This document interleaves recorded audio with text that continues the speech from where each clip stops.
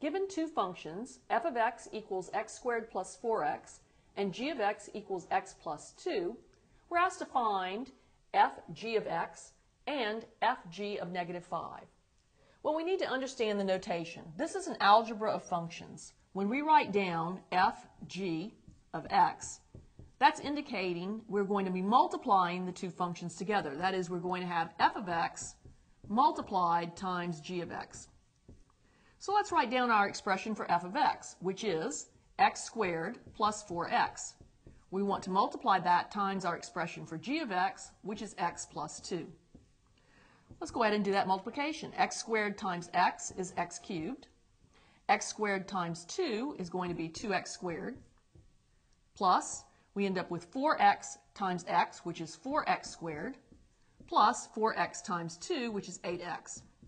We can combine our like terms to get our simplified result of x cubed plus 6x squared plus 8x. So this is the expression for fg of x.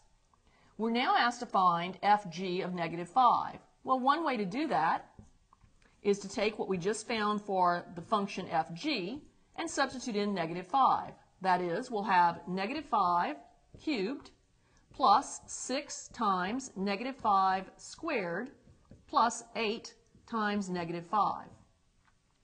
Negative 5 cubed is a negative 125. We'll have plus 6 times negative 5 squared is 25, plus, and here we have 8 times negative 5, which is negative 40.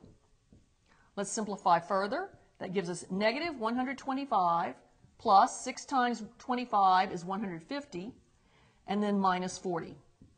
Combining gives us negative 125 plus 150, which is 25, and 25 minus 40 is equal to a negative 15. Now notice that we could alternatively have found that product fg of negative 5 by taking f of negative 5 and multiplying it times g of negative 5, which means we're going to substitute back into the original functions. F of negative 5 would have been negative 5 squared, which would be 25, plus 4 times negative 5, which is minus 20. We then multiply that times negative 5 plus 2. So here we're going to have 5 times a negative 3, which confirms our result of negative 15.